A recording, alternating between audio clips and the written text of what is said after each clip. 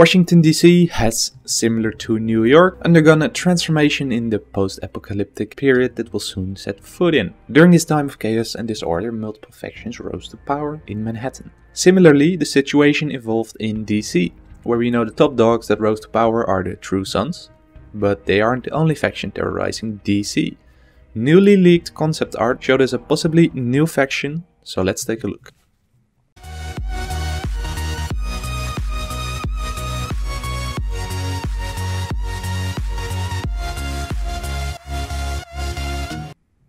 Before starting, there's a short disclaimer, the concept art hasn't been posted by Ubisoft, Massive Entertainment or any legitimate source.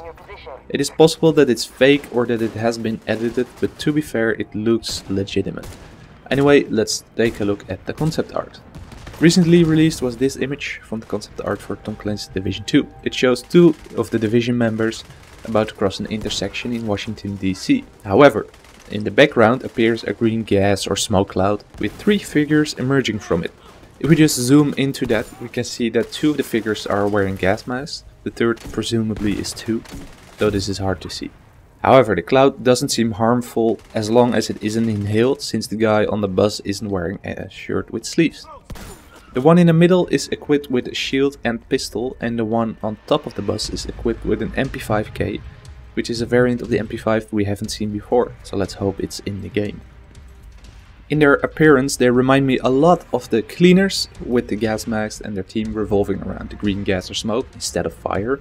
And while the black and white color scheme of their clothes does remind me of the True Sons, the rest of their appearance, like the mask, doesn't add up, so I think it's a new faction. If we divert our attention over to the right of the image, on the traffic sign and bus station we can see a logo that's gravitated on there. If we just take that and take a good look at it, we can see that it represents an animal of some kind. I see multiple theories out there on what it could be. Some people were thinking of a jaguar or a lion or something, but I think it's some sort of bird. An eagle or more specifically a harpy eagle. Something that people missed is that if we look at the background on the wall, we can see a logo for the DC Harpies, probably a local sports team. Moving over to the left, there is a logo on the bus of an eagle or a harpy eagle or something like it. And this could be related to the logo. The green color of the logo refers again to the gas and the figures rising from it. I've looked it up. And there's an American football team called the DC Eagles, so perhaps it's connected to that. But this could be a completely fictitious team that has nothing to do with this faction. It's interesting to see another faction and to see what their team revolves around. I'm not sure what the green smoke or gas cloud could be, Maybe it's something that's all over DC, but we'll have to wait and see before we know what it is. I appreciate you taking the time out of your day to watch this content. If you made it this far, consider leaving a rating, good or bad. It provides me feedback and helps me showing up in the YouTube algorithm. Comment down below, who do you think this faction is? And did you notice any other clues? Let me know what you think.